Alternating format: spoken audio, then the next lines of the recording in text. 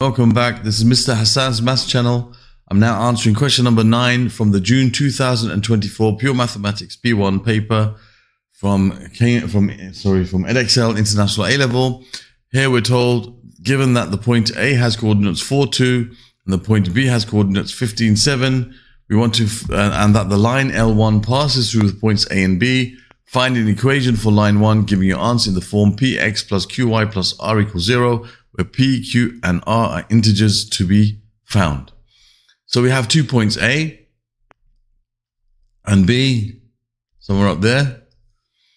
And there's a line that passes through both of these points. Let me make that line thinner. So there's a line that passes through those two points, A and B. And that line is called line L. Okay, so this is line L. Okay, so the, we want to find the equation of this line L. Okay, and it's L1 in fact. All right, so to find the equation of a straight line, we need two things. So for to find the equation of a straight line, we need two pieces of information. Okay, two pieces of information. One, we need to know the gradient of the line. We have to know the gradient of the line. And two, we need to know any point on the line, any point on the line, any point on the line. It has to be on the line. Okay, as for the points on the line, we have two of them. We have 4, 2 and we have 15, 7. So we can choose either of them. I will choose 4, 2 because it looks like it's an easier set of numbers to use. As for the gradient, well, to find the gradient between two points, so if I want to find the gradient between A and B, so I'll call that the gradient of line 1.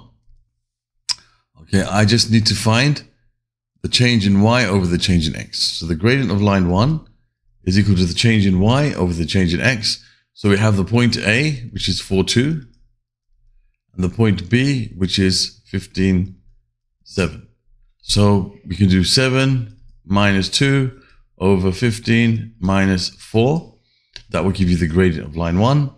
That, that's going to give you 7 minus 2 is 5. 15 minus 4 is 11. Okay, so 5, 5 over 11 is the gradient. So the gradient of line 1 is 5 elevenths. Okay, so we want to find the equation for the line 1. And what I'm going to do is I'm going to use the formula, which this is what, the way I prefer y minus y1 equals m times x minus x1. So y minus the y coordinate of this point 2 equals m, which is 5 over 11, times x minus the x coordinate of the point, which is 4. Okay, so the y coordinate of the point that you chose goes here. So that's 2 goes here, and the x coordinate goes here. Remember, this is the x, this is the y coordinate. So now we can, we want it in this form where we want to have p, q, and r as integers. So what I'm going to do is I'm going to get rid of the fraction by multiplying both sides by 11 at this stage. That makes life very easy for us. So if 11, 11y minus 22, 11 times y, 11 times 2, equals, if I multiply this side by 11, the 11 cancels, I've got left with 5, so 5x minus 20. So we want it in this form. So what I'm going to do is, I'm going to say, okay, I'll leave 0 on this side, and I'm going, I've got 5x here already. I want 11y to be removed from this side, so I'll subtract 11y from both sides. I've got negative 20, and I'm going to add 22 to get rid of the 22 from here, so it's going to be plus 2. So writing in a way that looks nicer, 5x minus 11y. Okay, and we're going to put it plus 2 equals 0. This is the equation of line 1. So this is line 1 for you. Okay, so that's the answer to part, um, part, part A.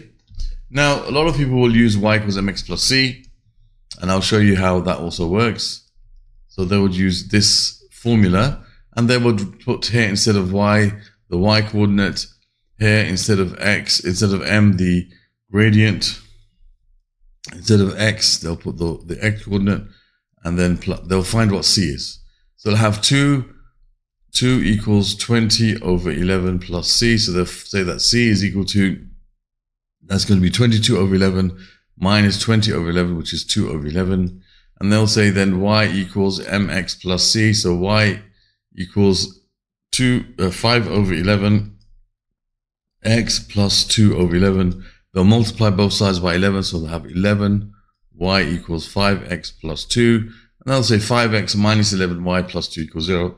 You'll get the same answer. And whether you use 4, 2 or 15, 7, doesn't matter. As long as you do the right thing, you'll still get the same answer. I much prefer this uh, way of dealing with things, as you'll see later on in your maths life. It will probably make things easy for you when you have more complicated type of questions. Right, and then it says the line L2 passes through A and is parallel to the x-axis. Okay, so I'm going to just make a little diagram here. There's the x-axis down here. There's a line that passes through A. Okay, and it's parallel to the x-axis. Now remember the coordinates of A are 4, 2. Okay, so this is the, the line L2. They said the point C lies on L2 such, to, such that the length of BC is 5 root 5. So there's a point C somewhere on line 2. Okay, and the length between B and C is 5 root 5. Okay, so it's asking us to find both possible pairs of coordinates of the point C. Okay, so basically, the distance between B and C is 5 root 5. Okay, the distance between B and C is 5 root 5. So you can see very clearly that there's going to be two possible places for C for that to be true. Okay, so it could be that this length is 5 root 5 here. It could be that this length is 5 root 5 there. That's one possible value for C, a place for C, that's another possible place for C. Okay, so C has coordinates uh, um, x and the y coordinate of A is 2. Okay, so the coordinates of C are x2. And there's two possible places that, two possible values for x. You have x here or x there. Right, so how do we find um, those two possible values of x? Well, we can set up an equation because I know that the point um, B has coordinates, as we're told, 15, 7. Okay. And I know that, that point A has coordinates x and 4. Or is it 2 or 4? x and 2, sorry, x and 2. Okay, the, the coordinates, sorry, the coordinates of point C, not, not A, the coordinates of point C are x and 2. Okay, so x we've got to find, there's two possible values for x, but I know that the magnitude of the length between BC is equal to 5 times root 5. Okay, so if I use the distance formula, okay, I can say that x minus 15 squared plus 2 minus 7 squared is equal to 5 root 5 squared. Okay, by Pythagoras' theorem, okay, basically, I know that this distance, okay, so this is B, which is, um, this is the point B, which is 15, 7. Okay. So I know that this distance here, which is x minus 15 or 15 minus x, okay, squared, plus this distance here, which is like 7 minus 2 or 2 minus 7, doesn't matter, squared, is equal to this squared by Pythagoras' theorem. Okay, so I, I know that um, you know, I can use Pythagoras' theorem here. So this squared, this length squared, which is the difference between the x coordinates, x minus 15 or 15 minus x. And this distance here, which is the difference between the y coordinates, which is 7 minus 2 or 2 minus 7, doesn't matter. The square of those two will give you the square of the hypotenuse, which is 5 root 5 all squared. Okay, so we can set up this equation and we can solve this. So an easy way to solve this equation would be not to expand this for now because we have a square bracket which was convenient. So x minus 15 squared plus 2 minus 7 is minus 5. Minus 5 all squared is positive 25. Now if you square this, you're going to have 5 squared which is 25 and root 5 squared which is 5. Okay, so you end up with x minus 15 squared is equal to that's 125 minus 25, which is 100. Because right? when you multiply 5 by 25, you get 125. You've got to take away 25. That gives you 100, which means x minus 15. And this is where you have to be careful. you take the square root of both sides. The square root of 100 could be either positive or negative 10. Okay, so x is going to be either 15 plus 10 or 15 minus 10. So x is going to be uh, 25 or x is going to be 5.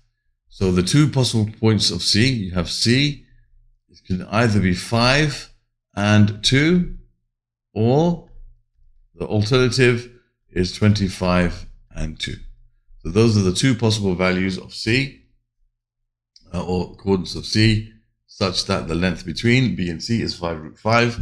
And now for part C of this question, it says, hence find the minimum possible area of the triangle ABC.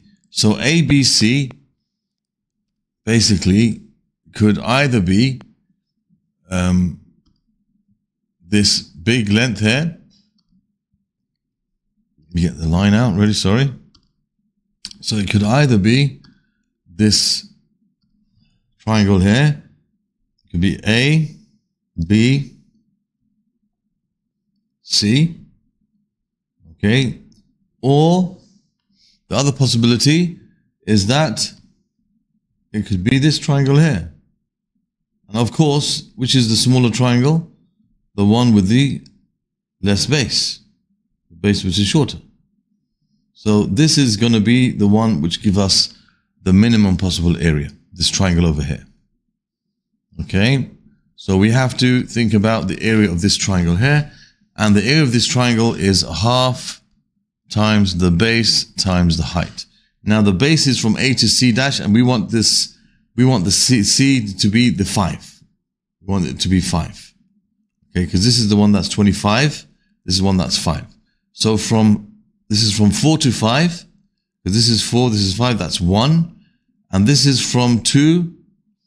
This is from two to where B is. The coordinates of B were, can't see very well here. The coordinates of B are 15, 7. So the height of this is from, this is 15, 7. So the height of this is from 7 minus 2, which is 5. So you have a triangle that looks like this. Now, a lot of people get mixed up with these triangles. How do we find the area of this triangle? It's really easy. Some people try to use the three coordinates and they use the shoelace method and things like that, and they make things very complicated. You have to understand from your basic understanding of IGCSE maths how to find the area of a triangle. A half times the base times the height, and the triangle doesn't have to be right angled. You just have to know the distance between the vertex and the base. So this is the distance between the vertex and the base. Okay, this distance here. Okay, so this is the perpendicular height. Okay, and in this case, it's five units. And in this case, this is one unit. This is from four to five. So the area of this triangle is a half times the base times the vertical height. So it's a half times one times five, which is 2.5 square units. So we have to understand how to find the area of a triangle. Okay, this is a very common question that I get and it's something that needs to be addressed. So for example, just like a little example here, you have one, two, three, four triangles. All of these have the same area. And to find the area of each of these triangles, you need half times the base times the vertical height. Okay. So they don't have to be right angle triangles. This is the vertical height of this triangle. Okay. From here to here. Okay. That's the vertical height of this triangle. Okay. This is the vertical height of this triangle. This one is the right angle triangle. This is the vertical height of that triangle. This is the vertical height of that triangle up to where the base is. So half times the base times the height, all of these have the same area. So it doesn't have to be just be a right angle triangle, half times base times height. It could be like this. As long as you know the distance from the vertex to the base, even if the vertex is off the base like this, they all give the same area. Okay, so to find the area of this triangle, if you know this length and that length, half times one times five will give you its area. You don't need to use this shoelace method for something simple as this. Okay, there's no need. All the questions you get in these type of you know problems will all be ones where you can just use exactly this type of method here. It's something important for you to understand. Anyway, that concludes this question. Other questions from this particular paper can be found in the playlist which will appear on the top right of the screen at the end of the video. Other questions from the topic of uh, this is is? I guess I guess it's straight line graphs. Okay, can be found in the playlist over here. You can subscribe to the channel by clicking on this link, and over here you'll find a video which uh, shows you how to use my channel effectively. Thank you for watching, and see you soon.